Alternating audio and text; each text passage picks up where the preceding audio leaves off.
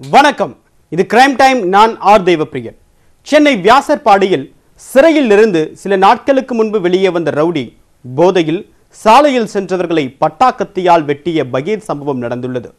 பதற வைக்கும் சிசிடிவி காட்சிகள் வெளியாகி இருக்கக்கூடிய நிலையில் நடந்தது என்ன?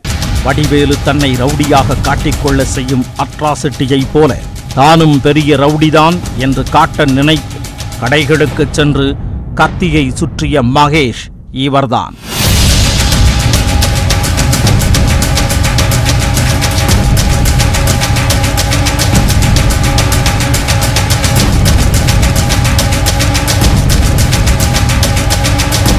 போதையில் இவர் செய்த அட்டகாசம் தற்போது சிசிடிவி காட்சியுடன் வெளியாகி உள்ளது பதற வைக்கும் சம்பவத்தின் பின்னணி என்ன? சென்னை வியாசர்பாடி பகுதியைச் சேர்ந்தவர் இருபத்தி ஒன்பது வயதான மகேஷ். எந்த வேலைக்கும் செல்லாமல் மது கஞ்சா பழக்கத்திற்கு அடிமையாகி ஊர் சுற்றி வந்துள்ளார்.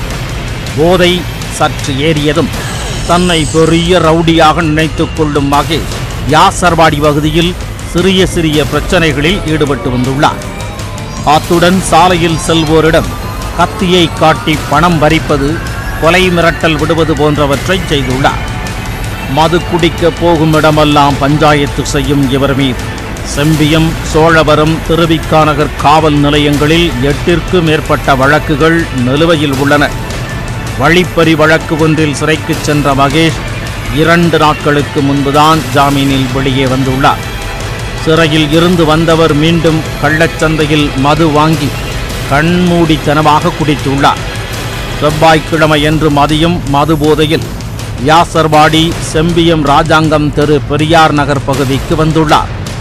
பெரிய வீச்சருவாளுடன் வந்தவர். சாலையில் சென்றோரை அறிவாளை காட்டி ஏய் நானும் ரவுடிதான் என்று கூச்சலிட்டவாறு கத்தியுள்ளார் அத்துடன் சாலையில் சுமை தூக்கும் தொழிலாளர் ஒருவரை தாக்கிய மகேஷ் இறைச்சி கடையில் புகுந்து கண்ணாடிகளை அறிவாளால் உடைத்தார். இதன் சிசிடிவி காட்சி தற்போது வெளியாகி பரபரப்பை ஏற்படுத்தியுள்ளது.